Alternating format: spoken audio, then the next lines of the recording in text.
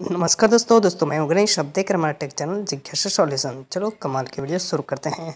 तो आज मैं आपको बताने वाला हूँ कि यूट्यूब वीडियो में जैसे कि कमेंट जैसे कि हम कर रहे हैं, लेकिन वो कर नहीं पा रहे हैं। उसका जो प्रॉब्लम का सॉल्यूशन है, वो मैं आपको बताने वाला हूँ। अक्सर क्या होता है, जैसे कि यहाँ दे रखा है कि कोई भी व्यूवर्स है, वो यहाँ पर कमेंट कर नहीं सकता। मतलब कि वीडियो जैसे अपलोड करते हैं, वहाँ ऑप्शन भी हम, हमारे को दे रखा होता है कि वीडियो अगर एट्टीन प्लस के लिए है तो यस का ऑप्शन अगर नहीं है तो नो का ऑप्शन होता है। वहाँ जैसे हम अपलोड करते हैं, शुरू में वो वहाँ पे दे रखा होता है। तो इसका अर्थ ये होता है कि मतलब कि वीडियो अगर बच्चों के लिए बनी है तो उस पर कमेंट शो नहीं होगा और अगर नहीं है तो होगा। तो इस प्रकार से मतलब वहाँ कुछ यूट्यूब हमें इंटीग्रेशन देता रहता है।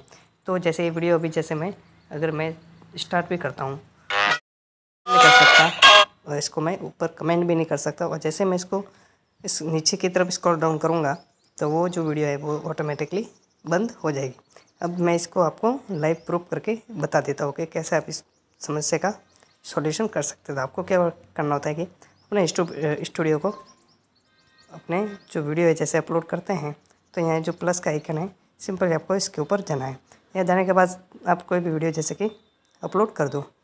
जैसे आप अपलोड करोगे तो यहाँ आपको ये मतलब कि बता देगा कि ये वीडियो को किस टाइप में आपको रखना है। तो जैसे कि कोई भी मैं सिंपल सा कोई भी वीडियो जैसे ये ले लेता हूँ।